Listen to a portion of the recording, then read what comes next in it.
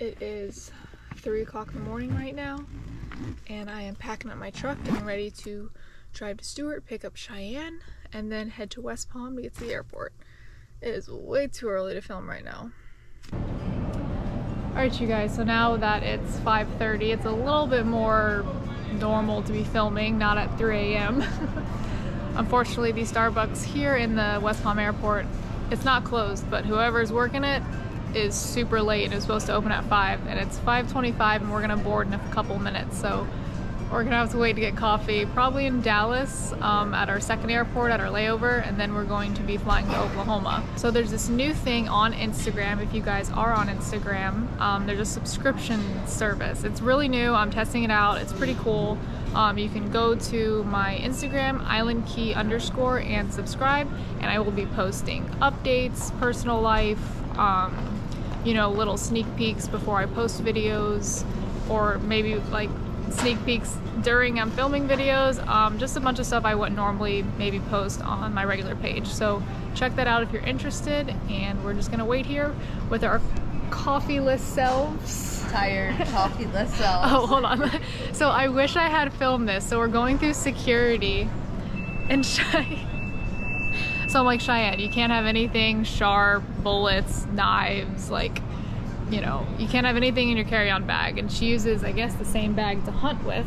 Yeah, this was my Kentucky bag. Just got back about two days ago. So a tree saw ended up at the bottom of this. And I didn't know until the lady asked me, are you sure there's no sharp objects? Are you sure? Not sure. No. She's like, I don't think so. there shouldn't be. And the lady's looking at Cheyenne like, oh gosh. Yeah, there was a big tree saw in her in the bottom of her book bag. I'm like, Lord. A tree saw. Shaking my head. I'm like, oh my god. It was pretty funny. I'm like, only Cheyenne. Can we show them your monster buck you killed? Yes, too? yes. Hold on. Let me. I could just lay it on the screen right here too. Yeah, let me just pull up my um, monster buck here. Check that out. And where was that? Kentucky, where the tree saw came from. Yes.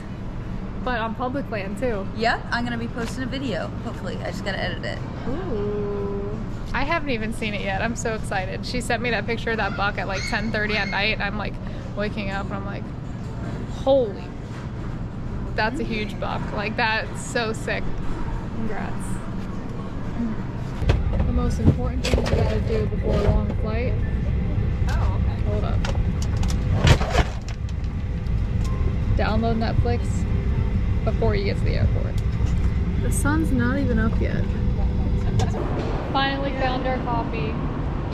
Cheers to, I hope everything goes as planned on this trip because every trip I go on, there's always something that doesn't go right, but we're keeping positive, positive vibes here.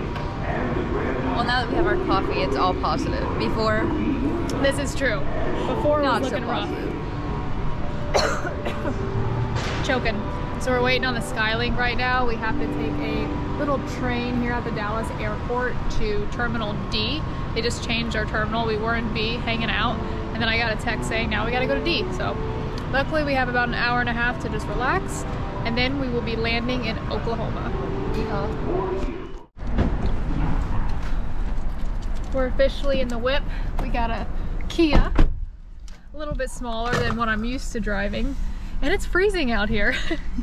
When we landed in Texas on our layover, it was 41 degrees.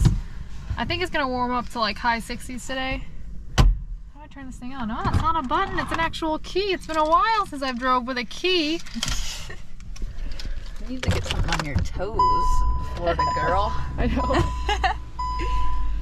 All right, so we gotta figure out where we're going.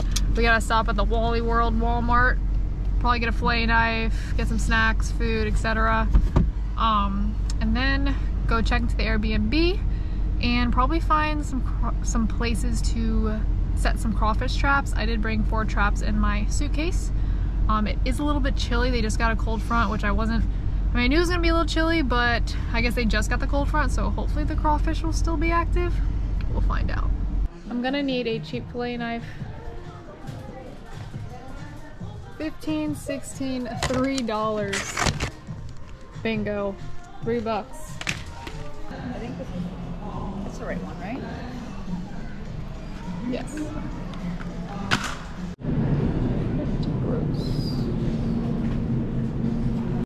So I wanted buttermilk, but I couldn't find it. So I had this adorable little thing of milk here.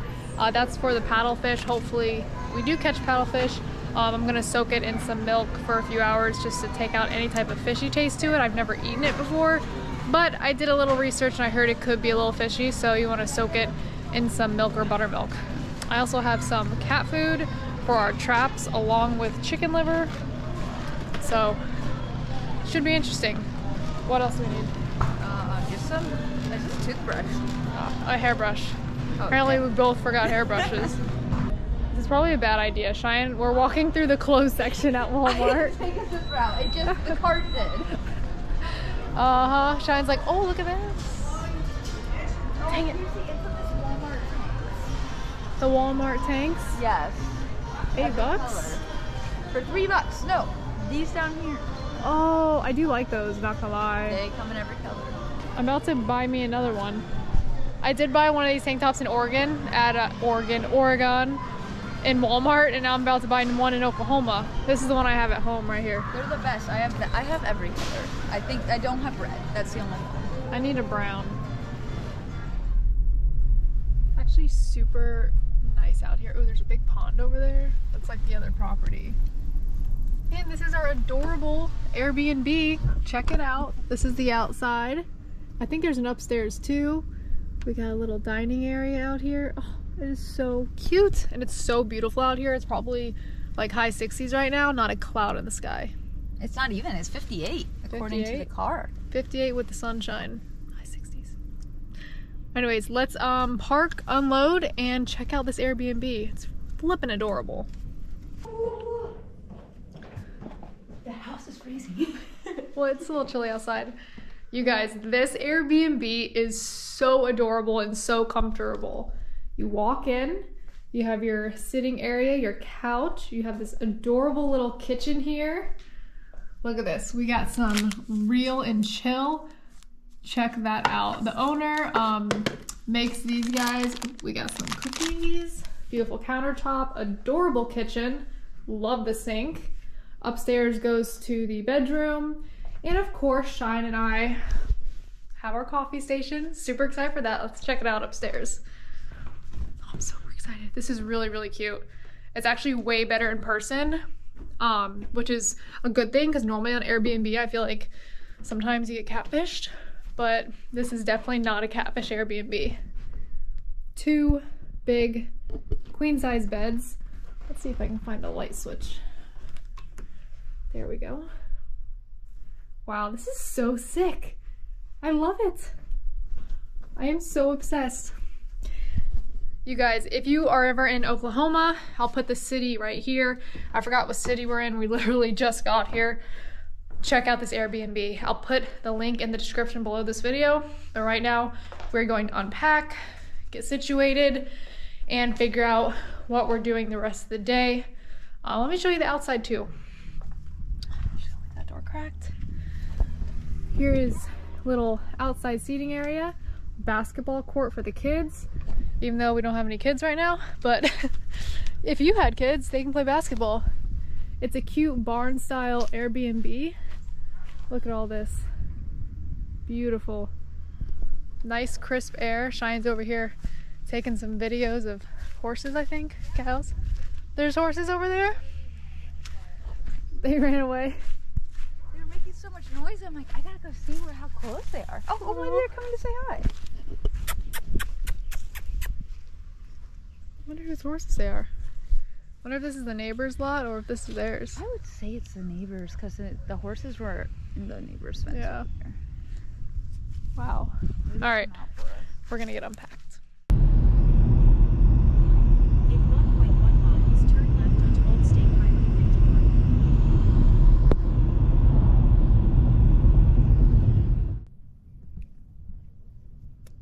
We're working with some slime line right here. I've never heard of slime line before. Is that what it's called? Yeah, slime line, but apparently it's a thing here in Oklahoma.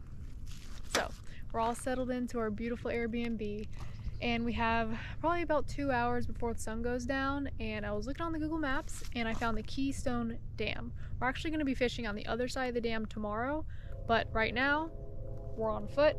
We got the good old trusty Kia rental car. We got some 5 circle hooks here, some swivels, some line. We got some catfish livers. The cat food's for the crawfish traps. Haven't decided if I'm going to put those out yet or not. We got some weights and we're going to see if we can't catch some blue catfish. So I actually went to the tackle store, um, Woody's, Woody's Tackle Shop, which is just right down the road from this dam here. Got the cheapest Zebco they had, which is a $40 Zebco. And probably gonna This will do you good offshore. yeah, right? It's huge. Probably gonna end up donating this reel to either the charter guide tomorrow or the Airbnb because I am not taking it back in my carry-on bag. So we're gonna go ahead and give it a try. I also got some frozen shad as well because they use shad here for bait. Um, so I'm gonna go ahead and I'm gonna use a chicken liver first. If that doesn't work, then I'm gonna switch it up to shad.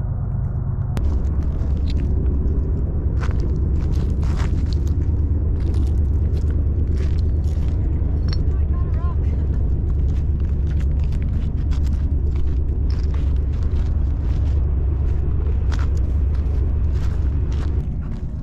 Good old trusty chicken livers. We have no towels, no paper towels. My hands are getting sacrificed. Mm, mm, mm. I thi- I think I'm, I'm gonna double up on the chicken livers. We're gonna do one. If you guys if you guys eat chicken liver in the comments below, let me know like how you eat them. Like you actually just cook these in a frying pan and just eat them? I'm very curious. I've never honestly met anyone who's eaten chicken livers, so My grandma eats them really? How does she eat them? fried. Fried? Gotta be the only good way. Right?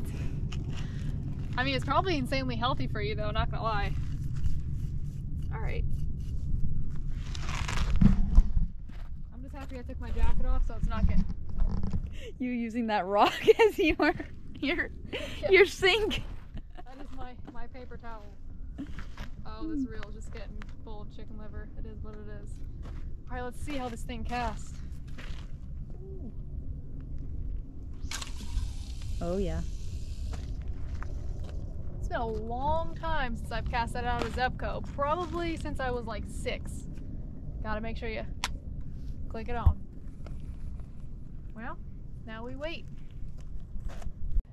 It is insanely beautiful out here. It's so quiet. The air is so crisp. It's cool. Ooh. I just got thumped. I just got thumped.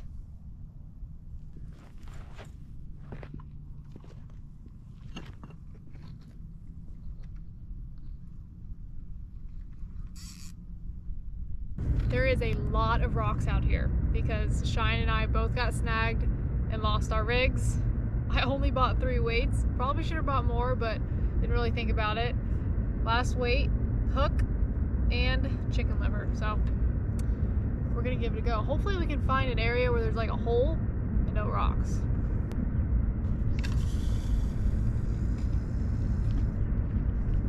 That was a good cast. I like I like that cast.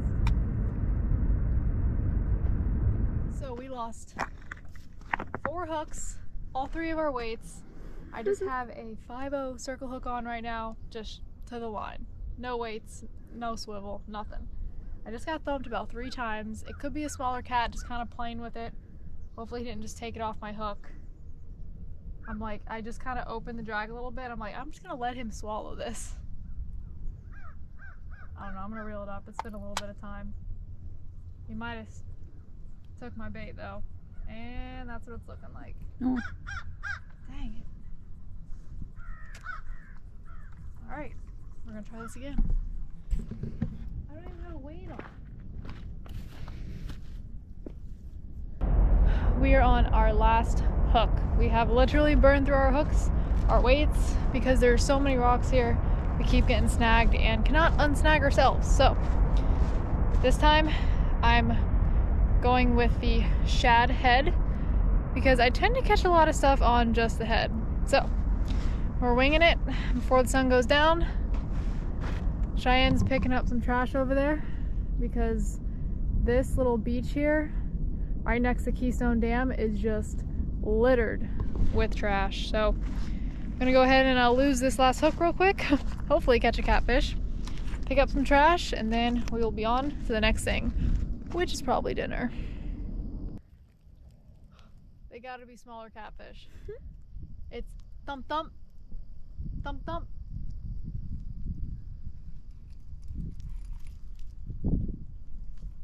I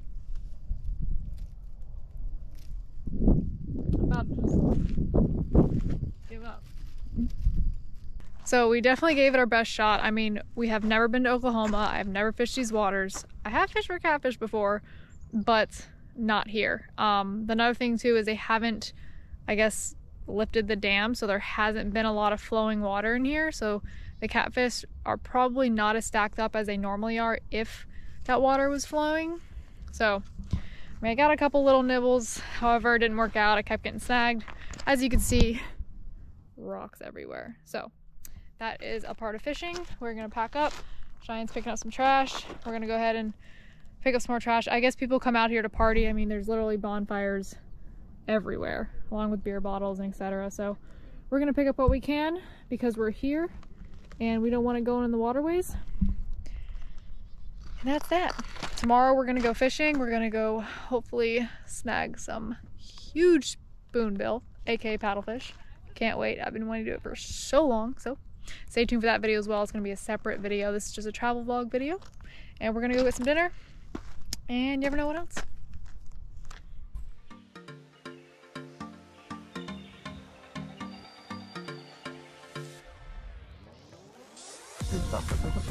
Oh,